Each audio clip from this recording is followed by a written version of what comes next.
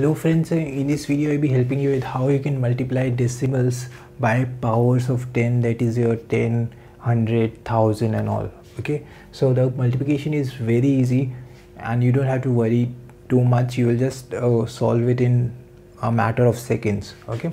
If you know the concept. So let's start with the problems. I've got few of the problems with which you will be fully clear with the concept okay? So let's start with the first one that is 8 cross 10 okay?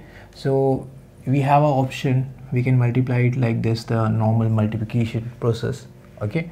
But we won't be doing like that because it is just the powers of tens okay?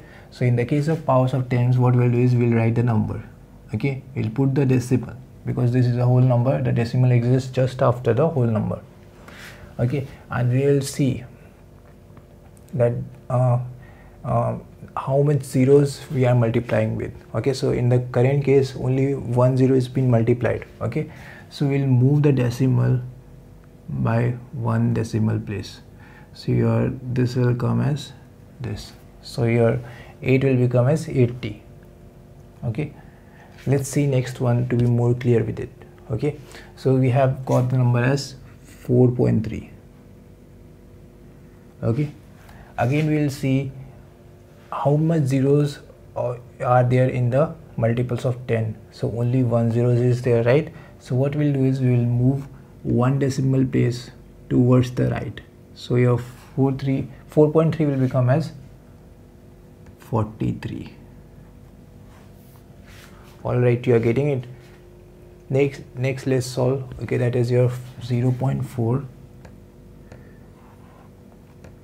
and now we have 10 raised to power 2 so 10 raised to power 2 means 100 or we can say 10 into 10 it is one and the same thing.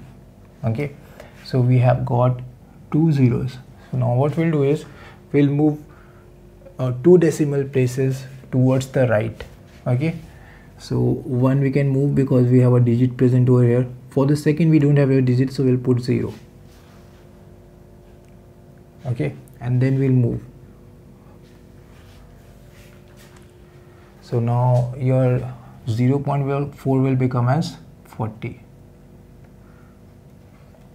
okay let's see for the fourth one that is a bit tough. Okay that is 2.53 into 1000 so what we'll do is again we'll write the number to 22.53 okay now we'll see how many zeros are there in the multiples of 10 that is 1 2 3 three zeros are there so we'll move three decimal places towards the right. So for moving one it's all right we have the digit. For two if we have the digit. For three we don't have the so we will put zero. All right? And then we'll move. So your 22.53 will become as 22530 all right? Mm, yes now let's see for the next one that is 2.4 into 10 raised to power 2 okay? So we'll write the number. Now if you have doubt what is this 10 raised to power 2 this is basically 10 into 10 or you can say it as 100 okay? So we have two zeros if we try to count in both the cases. Okay? So what we'll do is we'll move two zeros towards the right. So for moving one we have the digit. For moving second time we don't have digit so we'll put zero and we'll move so we'll get the number as 240 that is 240 all right. Let's see for the next one. That is 0.5 so we'll write the number.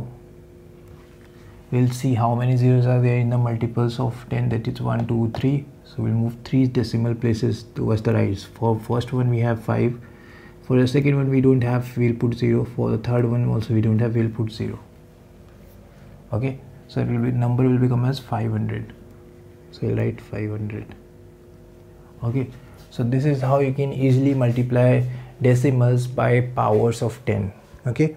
So if you still have any doubt you can comment down and you will feel free to ask anything in the comment section. Okay? So if you like the video please do hit the like button. Do consider subscribing and thanks for watching